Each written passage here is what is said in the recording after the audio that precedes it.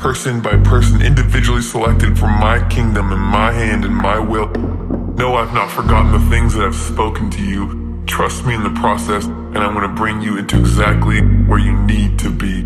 If only you would stop looking to the pain to be your God, stop looking to the circumstance to be your God, and instead look to me, look to my face. By simply setting your focus on me, all things will begin to become clear, and my life will be placed inside of you, the resting place of my love, becoming the source and root of your life. You know it's right when we moving in.